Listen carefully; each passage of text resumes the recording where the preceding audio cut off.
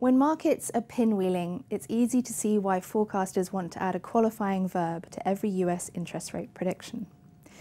The Federal Reserve may be on the brink of raising rates for the first time since the financial crisis, which might create disorder in global markets, although the Fed could also choose to be cautious, which should have already been priced into markets. If stresses weighing on markets were limited to a US rate rise, things would be much simpler.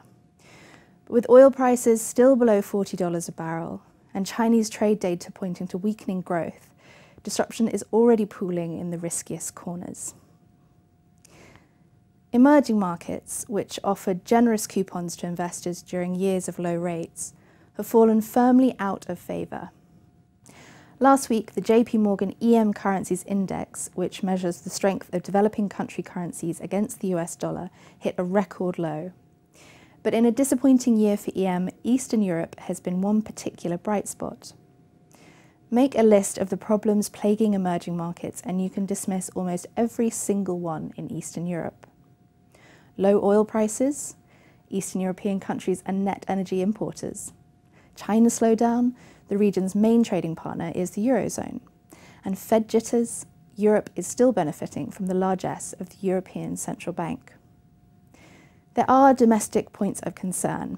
The recent election in Poland of a party perceived as anti-markets has sent the Warsaw Exchange down, and plans to accommodate migrants across the region has met with opposition.